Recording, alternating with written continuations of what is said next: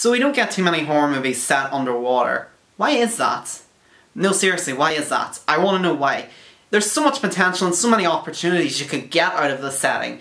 And yet we keep getting movies like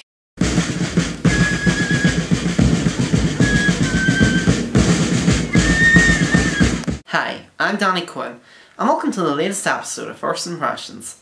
On today's episode, Mandy Moore and Claire Holt are trapped in a cage underwater, surrounded by killer sharks, in 47 metres down. The plot of the movie is pretty simple. Two sisters, played by Mandy Moore and Claire Holt, on her holiday in Mexico. Moore's feeling a little down because her boyfriend just dumped her, so Holt thinks the best idea to cheer her up is to take them both cage diving with sharks. However, while they are underwater, the cable holding them up breaks and they plunge to the bottom of the ocean and must find a way to escape before they become shark lunch or their air runs out. Simple, but has potential. I like movies that are set underwater or on the water, and I think they make for a good setting for a horror movie or a good thriller. But for some reason we don't get too many of them. We don't get nearly as many underwater movies as we do, say, space movies. And I really want to know why that is. Or maybe we do get these movies, but they keep falling under the radar and nobody actually sees them. So I was looking forward to this movie somewhat because I like the idea it has potential and it could make for a good scary movie. But once I finally got to see it, yeah, my expectations were not fulfilled. This is a very disappointing movie in my opinion. It's a shame really, because the elements were all there, but the flaws in the execution, it never reaches its full potential unfortunately. For one, this movie really lacks intention and suspense. I felt like I should have been on the edge of my seat for the entirety of the film, and yet, for most of the running time, I was just sitting there feeling bored, which isn't really a good sign whenever your movie is 90 minutes long. I think a lot of that comes down to the movie's directing by Johannes Roberts. His directing is overall competent, it's acceptable, he has a decent visual eye and it's not sloppy. But he doesn't bring anything to the material that any other director probably... But he doesn't bring anything to the material that any other director probably could, and his style of directing isn't nearly as tight or as taut or as gripping or as unrelenting as it really should be. There's very few moments in the film that are genuinely suspenseful. There's maybe one or two scenes where one of the two sisters is at risk of drowning. Those moments are genuinely scary, but that's really about it. It's a shame because the actors are overall pretty good. Mandy Moore does a decent job in the lead role, Claire Holt's not too bad as the sister.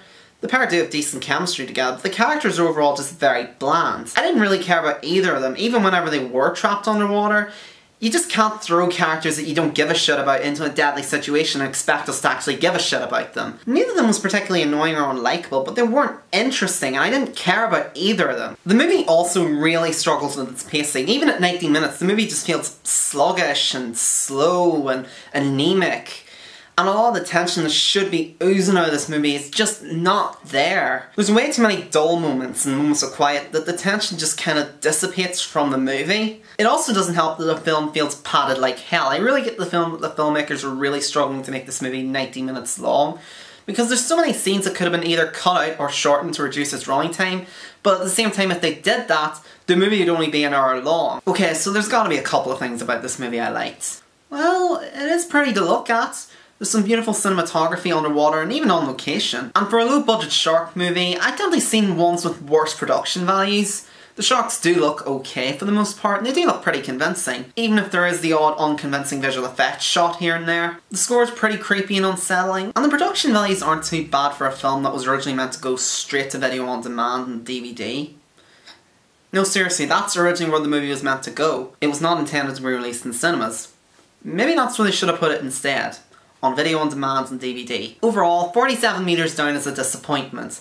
It's flatly directed, its characters are bland, it's padded like hell, it's seldom suspenseful, and not all that scary. Even the sharks aren't that much of a threat. They're terrible at biting, and every scene with them is just them chasing one of the two leads, and them narrowly avoiding being eaten because they have main character immunity. Top that off with the twist ending that's cheap and arbitrary, and you have a cocktail disappointment that should be thrown to the sharks. I'm gonna give 47 Meters Down a 4 out of 10. Why is it that underwater movies struggle to be scary? I mean, how hard is it? The potential is there, the setting is there. How hard is it to make something scary out of that? Instead, we keep getting movies like this. Thank you for watching, I hope you enjoyed this video. I'll be back soon with reviews for Atomic Blonde, Valerian and the City of a Thousand Planets, Annabelle Creation, and several others as well as my monthly contribution to the Super Inc Movie Club in the form of a Clockwork Orange, which, as I said, I can't wait to talk about. And if you want a good underwater horror movie, I'd recommend checking out my Super Inc Movie Club review for Jaws. That movie's a masterpiece. And in the meantime, feel free to like the video, leave a comment and subscribe to my channel. And until next time, I'm Danny Quinn. And I hope you have a pleasant evening.